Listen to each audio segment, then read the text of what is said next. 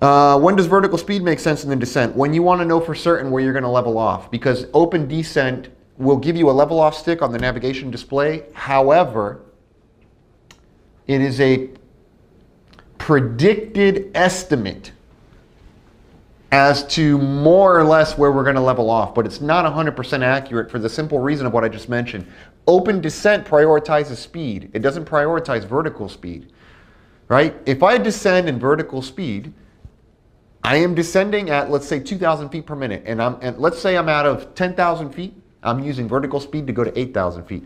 Well, if I'm descending at a constant 2,000 feet per minute, I can have a very accurate estimate where I'm going to level off at 8,000 feet. If I'm descending an open descent, it's less accurate because my rate of descent isn't constant. My airspeed's constant, and therefore my rate of descent varies to maintain the constant speed.